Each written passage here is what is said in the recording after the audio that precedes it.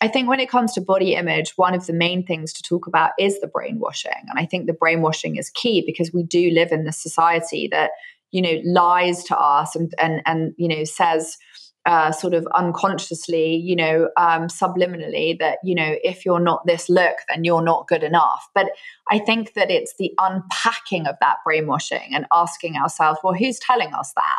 And where, who's taught me that? And what have I learned from that person? And, you know, it's been passed down. So we have to become adults and say, actually, I don't, I'm not sure that really works for me just because society says I need to be this thing and I'm not that thing um, what am I going to do? Spend my life unhappy about that or just embrace who I am? So there's a lot of unpacking with the brainwashing, and there's a lot of unpacking with diet mentality, which is, you know, diets don't work. We know that, and it's a huge, you know, problem.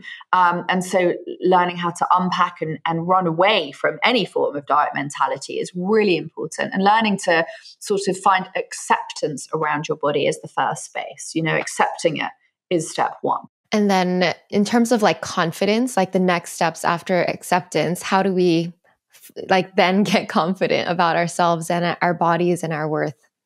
Well, first of all, if you are project yourself, you know, 10 years from now and you look at a picture of yourself today, you're going to be like, oh my God, I was hot, right? Yeah. So let's start there, right? Uh-huh. Because we're all getting older, we're all growing up. And I think that's really important. I think, second of all, like, and I say this to people all the time. Um, no one else cares about your ass. Like nobody. nobody cares about that, right? Mm-hmm. And we are also like self obsessed with, oh my God, does this look right at this thing? But no one is actually looking. Like it's just not that important for anyone else.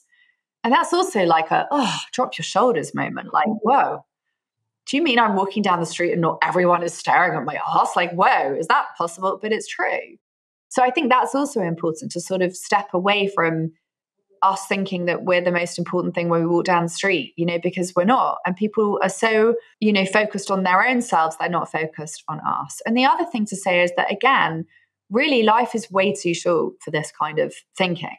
You know, like none of us know how long we've got. And I'm sure on all of our deathbeds, none of us are going to go, oh my God, I'm so glad I spent all that time worrying about my weight. Like, I just don't think anyone's going to say no. that. They're going to be like, I wish I'd cared less. So, you've only got one life, right? None of us, we're all going the same way. None of us get out alive, right? And none of us know how long we've got. So, we might as well enjoy our lives and enjoy our bodies and be gracious for that. Because the truth is, and I say this as well, like, your body is the least interesting part about you. Mm-hmm. Yep. And I also wouldn't want to be around people that only thought my body was the most interesting part about me. Like, that would not be good. So exactly. Right. Like your friends and the people that are around you, like they couldn't care less. They they love you because of your mind, because of your, you know, attitude, because of your compassion or your kindness or whatever it is. It's not, oh, because she's a size this. Like no one cares. Yeah. Oh my God. So right. And then you just brought t- to me this idea of how much time and energy we waste on thinking about our weight, especially women.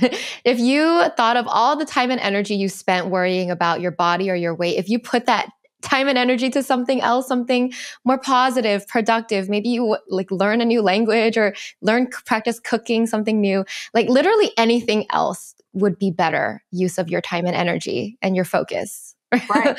right.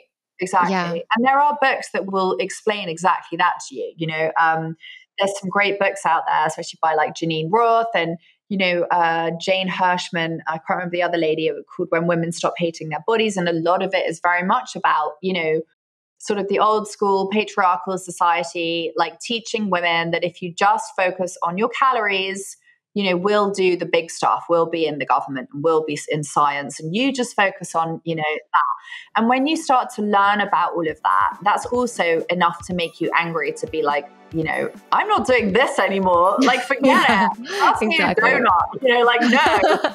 so yeah, there's all of that. You know, there's so much that um, you know I will teach my clients because it's important work.